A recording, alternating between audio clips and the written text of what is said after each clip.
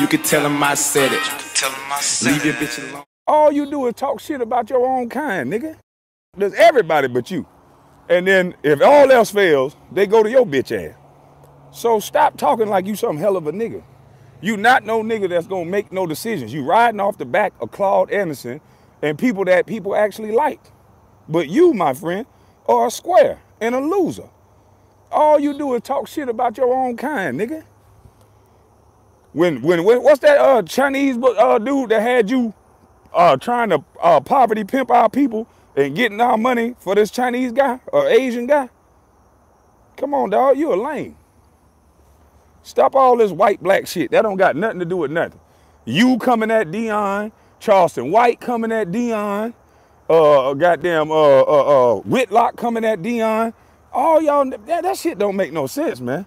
White people stay on code. They don't do all that. You name the white coach that a bunch of white player, uh, white men just attack them in the media like you niggas do. If what I'm saying is so wrong, name the white coach that it's a bunch of white males giving their opinion on open airways like the way these black men do. Nigga, you ain't gotta like Deion. You